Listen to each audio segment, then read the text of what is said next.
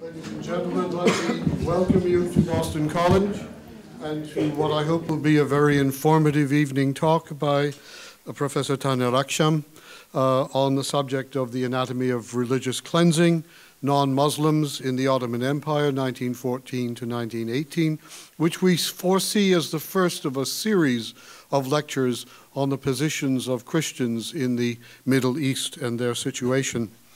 This is being sponsored by Boston College, by the Department of Slavic and Eastern Languages and Literatures, Department of Political Science, by the Islamic Civilization and Societies Program, and the School of Theology and Ministry. And in fact, we are in the STM library right now. Uh, a great moving force behind this has been Christian Solidarity International, and I'm very grateful to them for putting together the entire concept and for facilitating all of this, and the National Association for Armenian Studies and Research. So let me introduce John Eibner from Christian Solidarity International. This series of events was conceived in 2011 as the high hopes placed in the Arab Spring uh, were giving way to another grisly reality, and that is to say, widespread religious cleansing, especially of Christians, Alawites, Yazidis, and Shiites. Tragically, this phenomenon is currently at an advanced stage in Syria and in Iraq, and it shows no sign of diminishing. The Christians and other religious minorities are in the midst of a violent existential crisis, and survival is far from assured. But it is fitting this evening that our series begins with an examination of the anatomy of religious cleansing, non Muslims in the Ottoman Empire, 1914 through 1918. The genocide of Armenians and uh, Assyrian Christians in Turkey 100 years ago marked the first great genocide of the modern age. Somewhat like the current wave of religious cleansing in the Middle East, the genocide in Turkey was preceded by what I call the Ottoman Spring, which promised freedom and equality for all and was celebrated by members of uh, Turkey's religious, uh, all of Turkey's religious and ethnic communities. And many of today's victims of religious cleansing in, in uh, Syria and Iraq are indeed descendants of survivors of the great genocide in Turkey. I know of no one more eminently qualified to speak on that genocide than Professor Taner Akçam. His most recent book, the widely acclaimed The Young Turks' Crime Against Humanity, the Armeni Armenian Genocide and Ethnic Cleansing uh, in the Ottoman Empire, is based largely on pioneering research undertaken in the Ottoman archives in Istanbul. Taner Akçam is currently professor of history at Clark University and holds the Aram Kaloosdian and Mugar Chair in Armenian Studies. Let us give a warm welcome to Professor Akçam. So thank you very much. Good evening. Thank you, John, for this nice introduction. Uh, today I'm here to speak about uh, Ottoman genocide against Christian between 1914 to 1918. Let me begin with an observation. The last century of Ottoman Empire, especially the period between 1878 and 1924, was characterized by a series of forced mass deportations, expulsions, and ethnic cleansing, which included mass killings. The Armenian genocide might represent the pinnacle of this period. However, the ethnic cleansing of Greeks, 1913 1914, genocide against Assyrians during the First World War years, and genocide against Pontic Greeks. This is the Pontic Greeks, the Greeks that were living, especially here in that area. So this is the Greeks in that area was called Pontus Greek, and they were target of genocidal massacres 1921-22. So uh, the Greeks 1921-22 are as important as the Armenian genocide. They occurred as a part of the same process. I think it's fair uh, for us to use the term Ottoman genocide and talk about a genocidal process to describe the period 1878 to 1924. As you may notice, I made a distinction between genocidal process and moments of genocides. These are two different categories. One covers the long-term process, 1878 to 1924. The other is certain moment that genocide occurred, like Armenians 1915-17, and the Assyrians during the same period, and the Pontus Greeks 1921-22, uh, and of course ethnic cleansing towards Greeks again during the First World War years. All of these mass deportations and massacres and genocides were carried out by one state. They represented the policy of the Ottoman administration, and each event was interrelated with the other. Despite this, despite this fact, until recently, with some exceptions to the contrary, all of these events have been analyzed and discussed as separate social phenomena without much contextualization. Each ethnic groups, Armenians, Assyrians, Greeks, and all others, developed a historiography confined to its own history and never in connection with other mass crimes of the same era and region. There have been some limited attempts in recent years to explain the entire process within the broader context of Ottoman demographic policy, but for the most part, scholars working in this area stayed within their own niche field of inquiry. To formulate this in another way, even in cases where there were attempts to contextualize or pull the different cases together, this has been done for the most part by placing these different events next to each other and separate as separate entities and what we call in our field comparative perspective. So one compared one event with the other. So rather than trying to explain them as evidence of one interconnected process or a one history, this is what has to be done. And this is maybe what I'm trying to do this evening. My suggestion today is that we develop a new understanding of the period and start talking about Ottoman genocide of Christians. I will present today a short glimpse of the period of 1913-18 and show how the policies against Greeks, Assyrians, and Armenians are strongly interrelated. They were not isolated acts, but a part of comprehensive policy implemented by one government. They were carried out as a part of a general plan, which could be called demographic policy or ethnic cleansing of Anatolia, or what I call occasionally homogenization of Anatolia on Turkish Muslim ground. And it was the policy of expulsion of basically all or most of the Christian population of Anatolia. The policy was implemented as a general resettlement plan between 1913 and 18 and continued against the Pontic Greeks in the years of 1921-22 and finalized with, maybe you have heard, the forced population exchange agreement between Greece and Turkey in 1924. This was the final touch of this process. The main goal of this policy was to ensure the formation of a homogeneous Anatolia and Anatolia with a majority Turkish Muslim population. The elimination of the Christian population was central to this plan, but it was not the only component. The plan, this demographic plan for that period, had two primary components.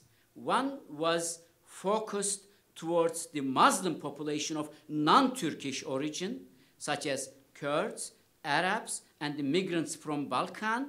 They were relocated and dispersed during that period among the Turkish majority for the purpose of ensuring assimilation among the Turkish population.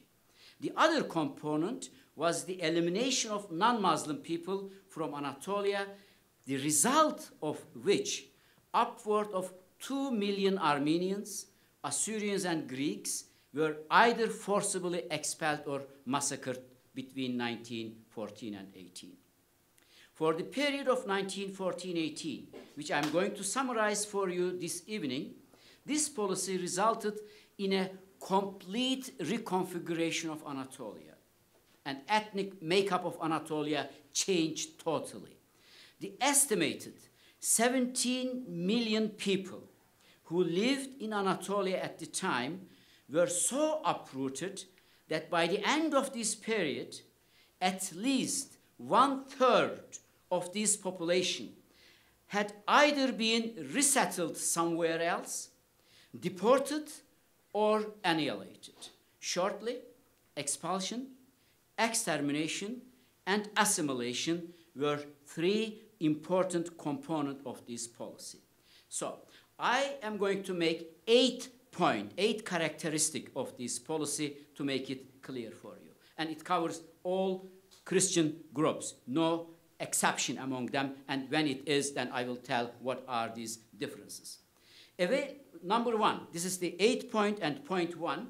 Available Ottoman documents show that this plan began to be implemented first in the Aegean region against the Greeks in 1913 and followed spring of 1914. Basically, the Greeks in the Aegean coast was the target of this policy. And during the war years, this policy was expanded to include the Assyrians, Chaldeans, and Nestorians, and especially the Armenians, and eventually reached a level that can only be described as genocidal. The Ottoman losses incurred during Balkan War of 1912 were a major triggering point for this plan.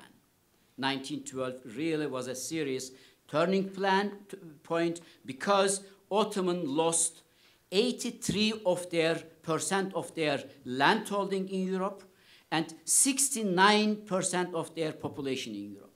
So the entire European landholding was lost and even within one week. This was a big shock for Ottoman rulers. And not only they lost the land, they lost their homeland. So the enti- almost entire ruling elite of the party, Union and Progress Party, they were not from Anatolia. They were actually from Macedonia and from Albania, from Balkan, and they lost their homelands. This was the big shock for them. And they agreed, as a result of this war, they agreed to exchange population with Greece and Bulgaria and Serbia. Indeed, first international known uh, population exchange agreement was signed between Serbia, Greece, and Bulgaria in 1913, basically on the border areas the population were exchanged based on these agreements. And in their own words, then they, extended this policy towards the Greeks in Western Anatolia. And this is how the Turkish authorities described their policy. Quote, in their own words, the policy against the Greeks aimed for liquidating the concentration of non-Turkish population that had accumulated at strategic points and which were susceptible to negative foreign influences. So there was a security concept attached to that idea. And for them, the Greeks in Western coast was the first biggest danger, security threat. So the first measures against the Greeks on the Aegean coast followed a two-track communication and operational system. On the surface, government had official population exchange agreement with Greece, according to which Muslims and Christians would be exchanged and resettled in their respective villages. So you have to keep in mind there were two different population exchange agreements between Greece and Turkey.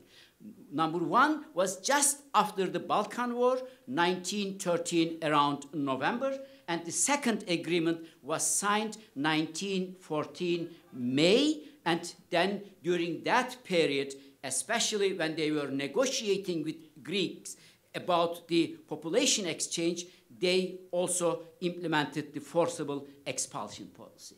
So the two-track mechanism was following. On the one side, it was a legal act. Two states were sitting, negotiating, and making some agreement on population exchanges.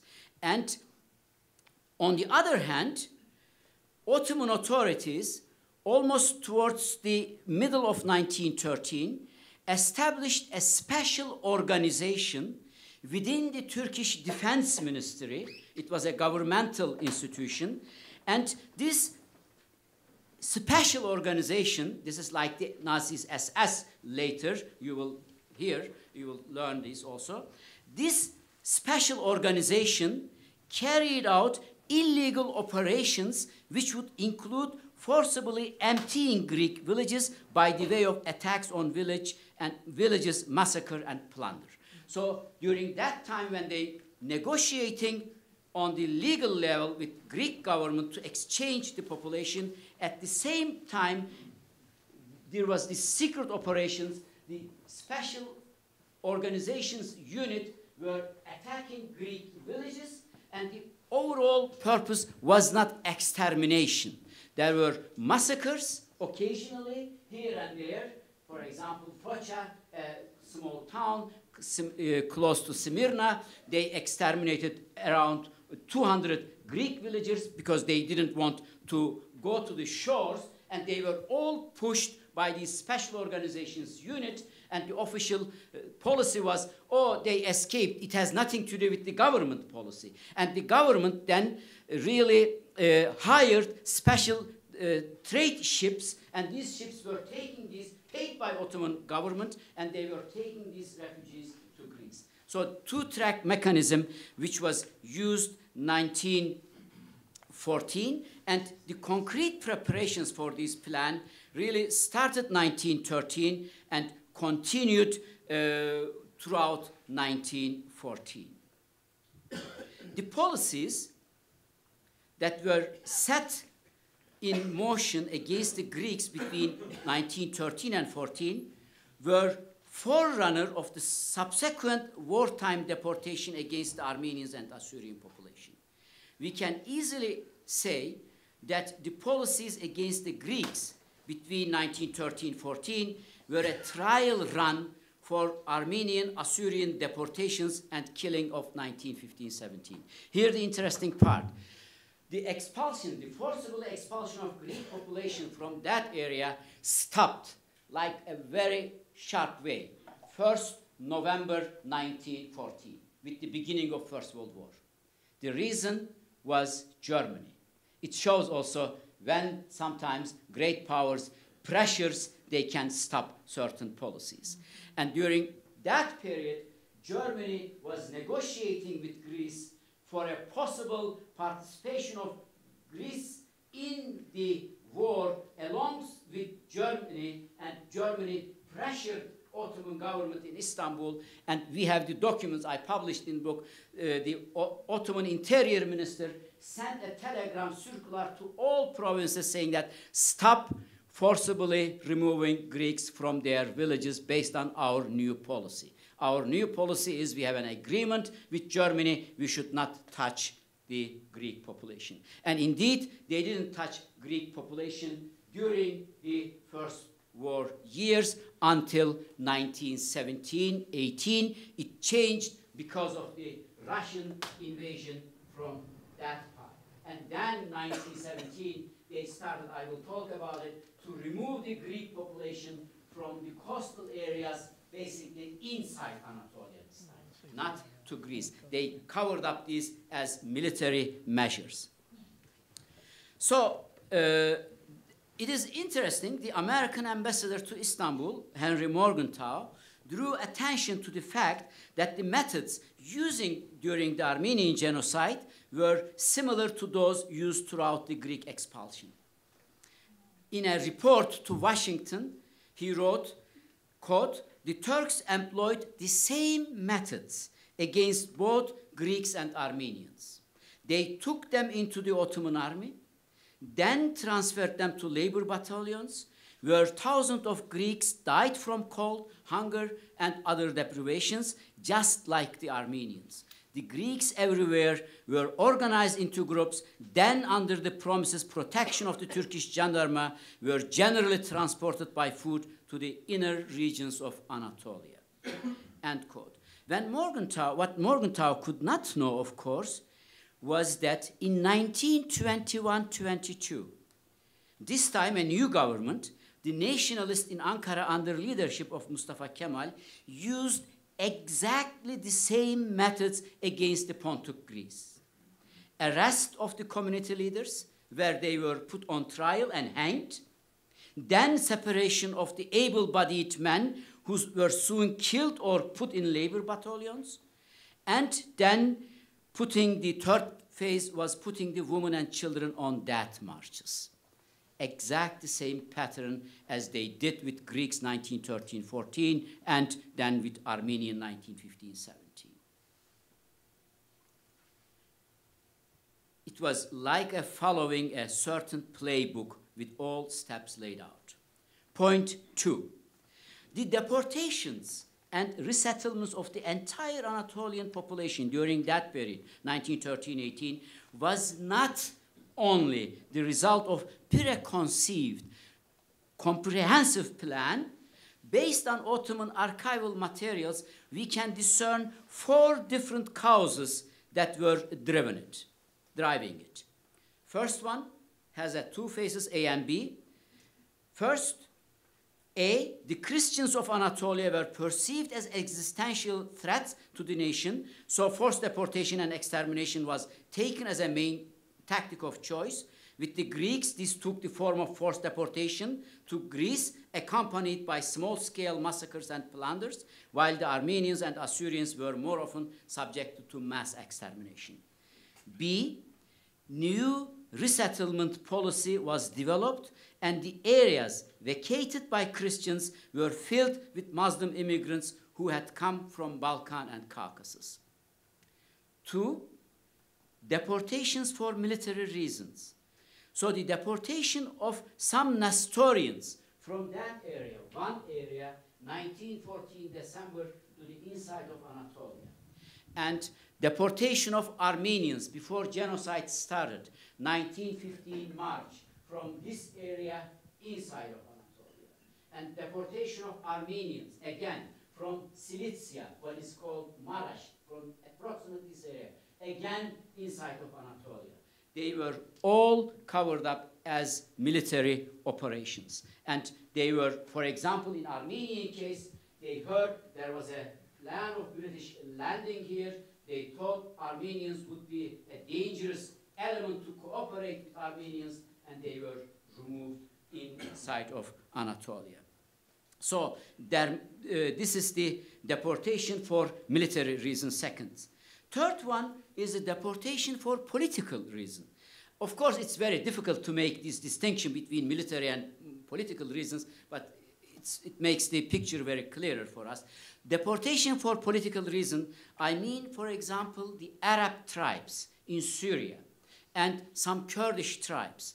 They were deported from Syria inside Anatolia, for example, some families all the way to Bursa, and they picked up special Arab families, influential Arab families in Syria, for example. They thought they could create some political problem for their uh, conducting the war and other reasons. And at the same time, they also deported a group of Jewish uh, people from Haifa and Jerusalem inside Anatolia again. Again, here was the political considerations played an important role for them. So this is the third reason. And the fourth, deportation and resettlement of Muslims as a result of the exigencies of war. So the Kurds, for example, had escaped eastern war zones. They escaped the Russian army. This unexpected escape became an important part of Ottoman demographic policy, and the number of Muslims who had be resettled, in, who had to be resettled in the new areas was approximately 1 million.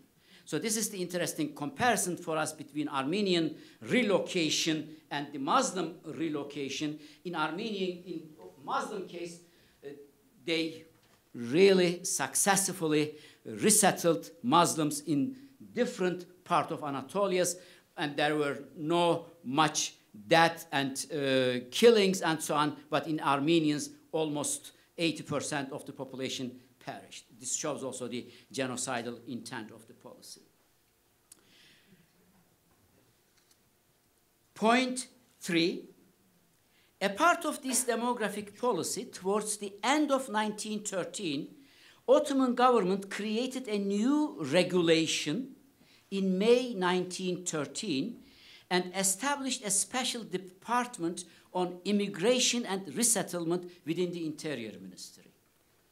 So one important aspect of this May regulation was to renaming of Christian villages as part of Turkification policy. After the expulsion of Armenians and Assyrians in 1915, they accelerated the renaming process. These measures were carried out mostly by provincial administrative commissions and were not well organized. In order to stabilize this process, the Defense Ministry issued an instruction January 15, 1916. These instructions restated the order to change all names of towns, villages, mountains, rivers that had non-Islamic names into Turkish names. The telegram also emphasized that this renaming process should be completed as soon as possible. This process, however, created an enormous problem during the war years as no one was familiar with these new names. As a second degree, they canceled this process because the military officers, generals could not communicate with each other with these new names. They stopped this process. And I am from this area, Kars. I was born there. And I remember 1970s, they were still trying to change the Armenians, Greek, and Georgian names, the Christian names of the villages surrounding my village and my town. This is still an ongoing process in Turkey. Wherever they discover some Christian name, they really are after it and they change it. This is what we call maybe a part of a cultural genocide. You should really eradicate everything Christian from that picture. This is the overall idea, actually. Point four. Implementing this general new population resettlement plan, Ottoman authorities created maps of every region showing the ethnic demographic of each area. They not only created an ethnic map for every region, but also a social one detailing the education, language, and economic conditions of the different ethnic groups and the relationship between them. For example, here a quote from a telegram to different provinces from 1915. Quote, there is a need for the procurement of two logs in which the national identities of the population for each administrative units from counties to villages is shown. They should prepare this map and send to central government. Again, from another coded telegram. It says, uh, the national identities of population must be written down from both past and present, all changes, and even the village level, these changes and the numbers should be sent to Istanbul. There are dozens of similar documents requesting different information in every region. Just one more example for you. 1916, the Interior Ministry was requesting the procurement and dispatch of a log of the names of villages set free, for example, in the Marmara region, vacated, set free in Marmara Coast, along with the numbers of the Greek deportees from that region and the localities. And we can infer from these documents also, they did one thing also very interesting.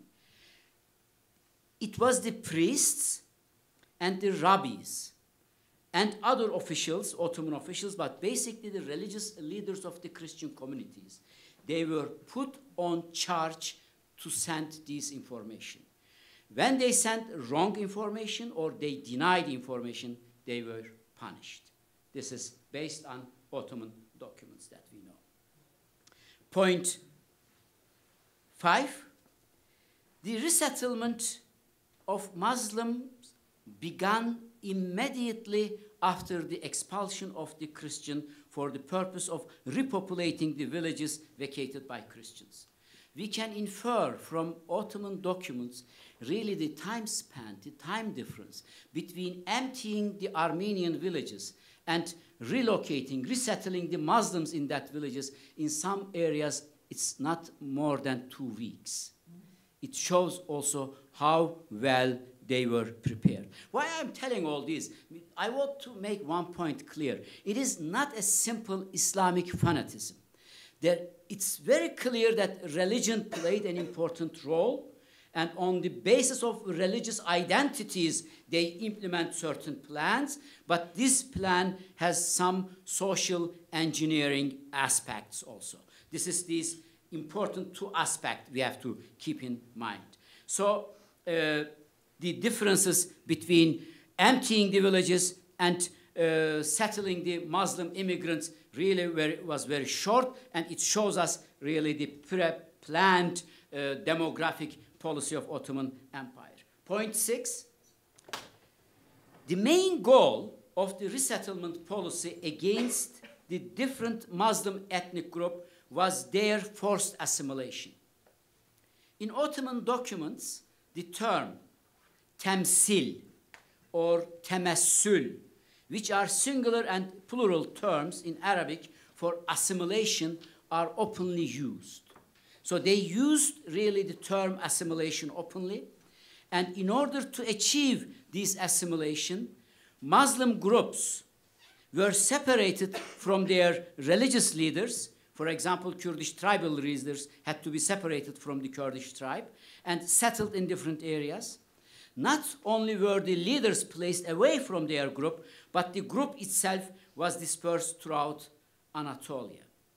For example, in a telegram, again, dated May 2nd, 1916, it is clearly stated that the intention of the resettlement policy of the Kurds was to make the Kurds forget their ethnic and cultural identity. Thus, they should not be resettled in areas that would allow them to retain their national identity. For example, local authorities wanted, it's not on the map, there is a town here very close now on the fight going on, Urfa, and there are Arabs living in that town also, and local authorities relocated certain Kurds around the Urfa province and central authorities said that no, no, Kurds had a very good relation with Arabs and they would never forget their, uh, their uh, culture and their language. They should be sent inside Anatolia, basically around Konya. So the purpose was that Kurds or other non-Turkish Muslim group should forget their culture and languages, assimilation. Point seven, the documents explicitly show that the government ordered the regional authorities to ensure that any relocated group not exceed 5 or 10% of the original population. Even it was a fact for the Armenians. Some scholars, such as myself, learned this 5 or 10% policy from a document relating to Armenians published by Turkish government around early 1980s. It was one single document. Uh, it was a letter, a decree sent or a letter written by defense ministry to interior ministry. And it was published in one of the official Turkish uh, state books. And we consider, we dismiss this document saying that, you know, it's a cover-up attempt, a smokescreen. Now, we, new documents from the Ottoman archive indicate that this was not, in fact, a cover-up, but rather a calculated policy applied not only to Armenians, but also Greeks, Arabs, Kurds, Albanians, Bosnians, and others. It is clearly stated in the documents. These are the documents that I'm talking about, secret documents, ciphered secret documents sent from central government to regions. This was not for public consumptions. And in these documents, they openly mentions this 5 10% regulation. And in some cases, even, for example, uh, there is a city here, Gallipoli, Dardelen, it's the Çanakkale in Turkish we call it. They sent a telegram 1916 uh, from Interior Ministry saying that the Greeks, they already sent some, most of them in 1913-14, the remain, remaining Greeks and the Armenians, they said it's not exceeding 5%, there is no need to deport Christian from that city. So they really made a calculation in that sense. Uh,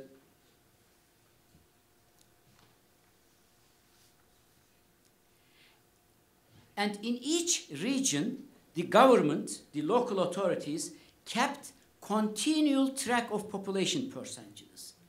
Central government constantly asking the numbers both of expelled groups and remaining and relocated groups. And continuously they were asking their relation to each other. And not, for example, in case of Armenians, they were not only asking generally as Armenians, they were asking the percentages of Gregorian Armenians, the Orthodox Armenians, the Protestant Armenians, and the Catholics Armenians, their percentage to each other, and their percentage to the Muslim population and I publish extensively in my book, almost weekly basis, they were keeping this record. And one more shocking information for you. Who was in charge of Armenian deportation throughout this period? It was in the Interior Ministry an office which they called Office of Statistic. Office of Statistic was in charge of the entire deportation process. And they were keeping continuously numbers of the Armenians. So there is a question to ask here. According to Ottoman statistic, the number of deported Armenians was around 1.2 million.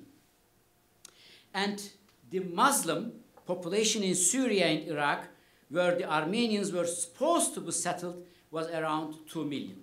So the short story of Armenian genocide is Armenians from throughout Anatolia were officially deported beginning of 1914 May all the way 1915 November, December into desert area, today's Syria, Deir Zor, and basically Aleppo and the surrounding area.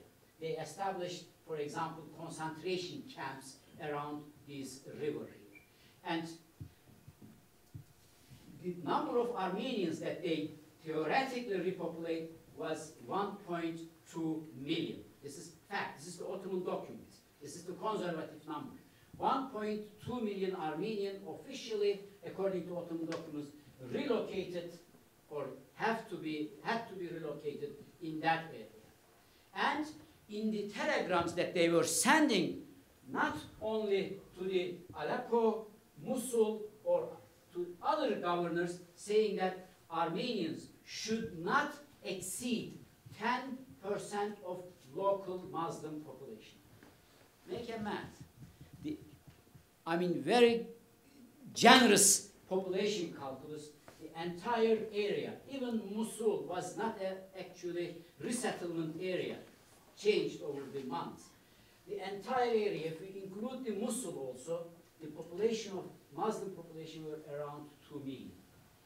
So if you want to settle Armenians as 10% of the Muslim population, what would you do with 1.2 million Armenians? And guess what? How many Armenians survived at the end? The genocidal process. You cannot believe it is around 150 to 200,000. My sense is Ottoman Union and Progress Party were more successful than the Nazis. Compare the plans and implementation of the plan.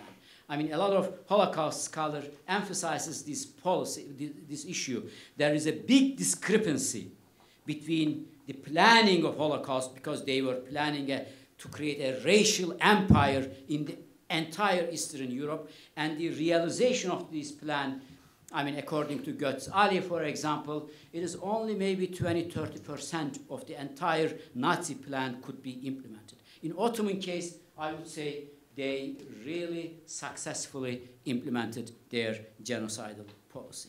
And one more information for you. Because they were taking almost weekly basis censuses, the population numbers, and 1915, towards end of 1915, they got the information that the number of Armenians in that area were around 500,000. And this was the reason 1916 summer months, they organized a second big massacre, mass killing 1916 summer months, especially in the Deir Zor area. This is today a monument and it was attacked by ISIS and they destroyed the Armenian genocide memorial there in that place. And we call Deir Zor Auschwitz of Armenian genocide. It is really the symbol. More than 200,000 Armenians were exterminated within two months in 1916 summer. So this is the population policy that really they kept the number of uh, the percent, 5, 10% population. Point eight, this is my last point. One of the purposes behind removing the Christian population from Anatolia was to develop a Turkish Muslim bourgeois class. So first, the religion differences, I put it. Second is the demographic policy, and now the economy, the economic aspect coming in the game, in the play. And this was really most ignored by scholars also. And they wanted to create a Turkish Muslim bourgeois class.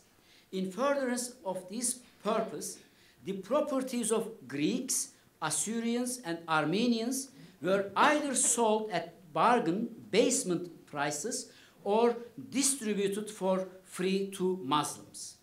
Ottoman authorities issued different laws and regulations in this regard. In a nutshell, these laws and regulations mandated that a special commission be established in each provinces and that the Armenian and Greek properties be registered in a special ledger and that some of these properties be sold by auction. Crops and livestock were to be treated the same way.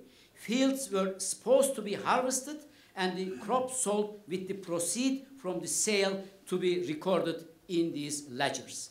And today we don't know where these ledgers are. They are vanished. You cannot find these uh, ledgers in Ottoman archives.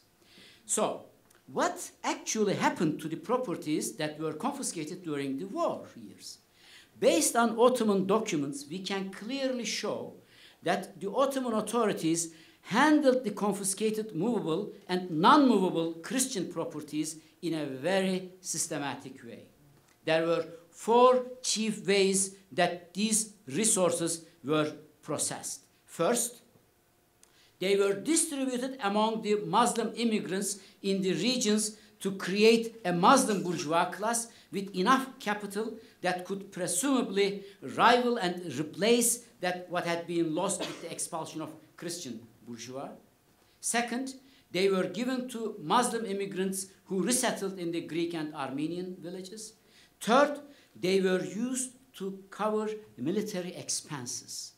So the war was financed by the revenues of the Christian properties.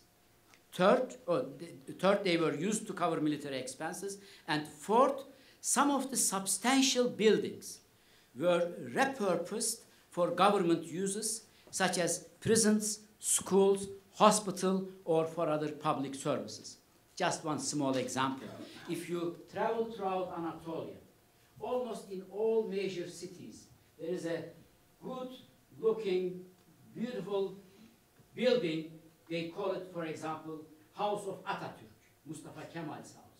And mostly these houses belong either to a Greek or an Armenian. It's freely given to Mustafa Kemal when he visited the city. And not only to him, of course, the entire ruling elite was a part of this economic plunder.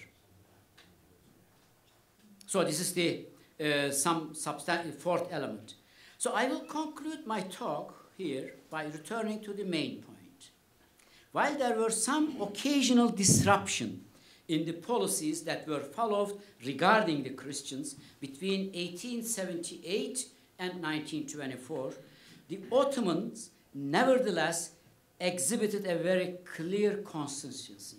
consistency.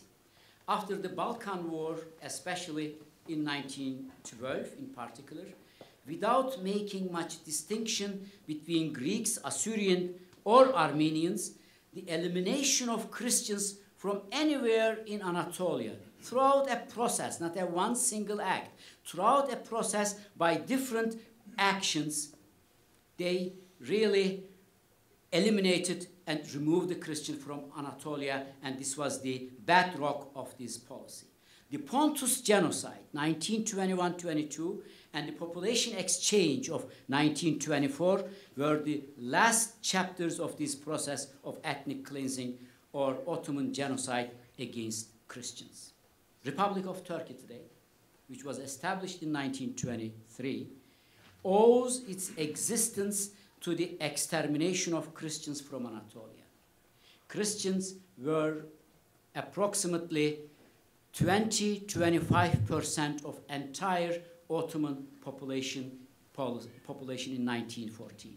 Today, Christians are not even 1% of Turkish population, and we, occasionally you hear, we are proud of being a Muslim country, 99.5 Muslims in Turkey. And the proud actually based on an extermination policy of Christians.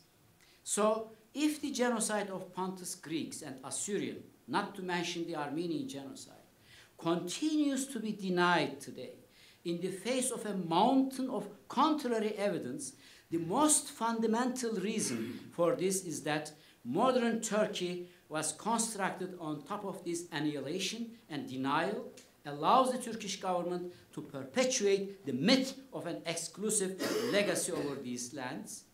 If Turkey cares, if you ask me, about its reputation and wants to be considered a respected member of Europe and civilized countries in the world at large, it must first and foremost confront this dark chapter in its founding and make honesty and integrity a principle of governance. And you can also now understand why Turkey have so, has so much difficulty today in the policy in the Middle East towards Christians, towards Alevites, and towards, of course, other, towards Kurds. Because they mentally, ideologically, economically based on a fact which really can be summarized as extermination, almost 25, 30% of their population. Thank you very much for listening.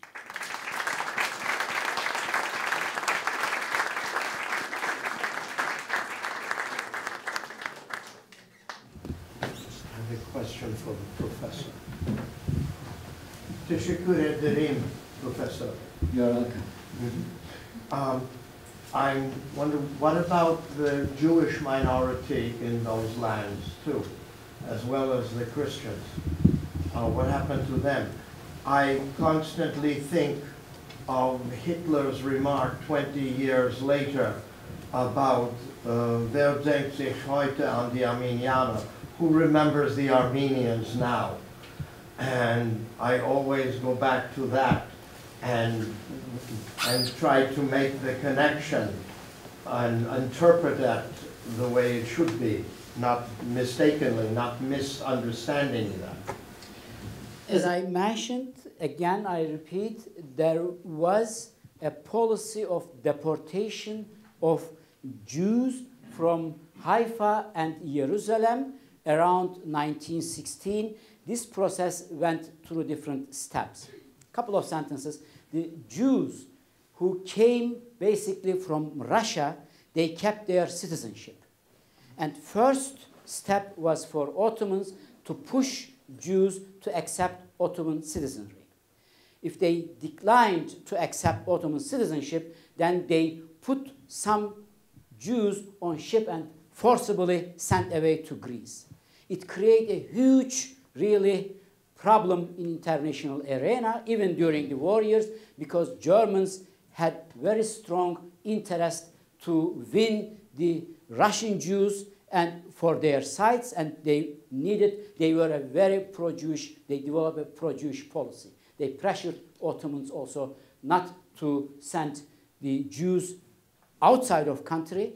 And 1916, 70s, as the British army was advancing from here, there were, of course, Jewish volunteers on the side of British army, like in the Armenian case here, 1914. And as a precautious measure, they took some of the Jewish population. There were small attacks and massacres, but in a very small scale. I don't remember the number, and they moved the Jewish population in that area. Overall, there was no systematic policy against Jews because it was not a security threat for them. It was a small number only in that area, and they really implemented this small scale of deportation. Um, I, am a little confused about um, th this is all religiously based. The extermination is of uh, non of non-Muslims, and the treatment of Muslims, even when moved around, is, is different. And yet, it's not uh, seemingly, in your account, a jihad.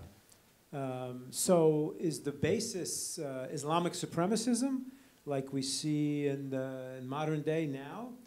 Um, or is it, is it mixed with uh, Turkish nationalism? What elements are jihadic and what are nationalist? And, and just one side question. Some of us here have worked with uh, the uh, result of uh, jihadic movements here, and that is slavery. Uh, Boko Haram and South Sudan. Was there any uh, element of enslavement of the Christian Dhimmi population? It's a very long topic for itself. I start with them last. They indeed implemented a conscious policy of assimilation, basically towards Armenians. And it fluctuated throughout the genocidal process. Number one, jihad, even though they declared a jihad, it was basically a product of German pressure, and it didn't help much to Ottoman authorities. They were reluctant because of simple reason, fighting with Christians against other Christians, you cannot mobilize your own Muslim population. Jihad as, as an ideological element helped in certain small areas around where Assyrian lived. So fatwa, they called the Assyrians. And because this is another part of most of the killing in that area against Assyrians was not centrally planned and organized. This was basically a local hatred of Kurdish Muslim tribes against Assyrians, and religion played a role. So the role of religion, in order to understand it, it needs more research, but we have to make a distinction between two layers. Number one, the policy of the rulers in Istanbul, and second, the, how it's implemented in, on the field. The CUP, the Committee of Union and Progress Party leaders, some of them were atheists. They were positivists. They studied in Paris, in medical school, in engineering. They uh, graduated from the best military schools from Istanbul. They didn't have any religious fever in that sense. And, but on the other side, they knew the mobilization of people in the area could only be possible if they used the religion. And they used the religion extensively.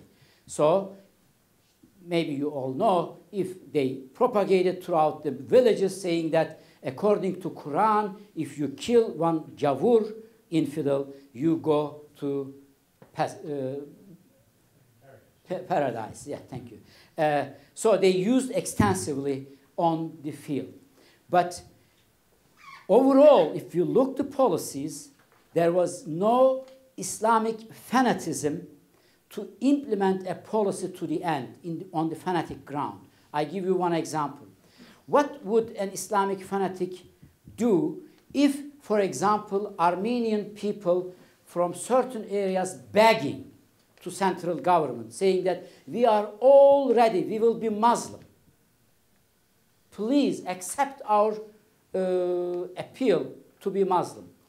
Central authorities allowed religious conversion only until Ju July 1st, 1915.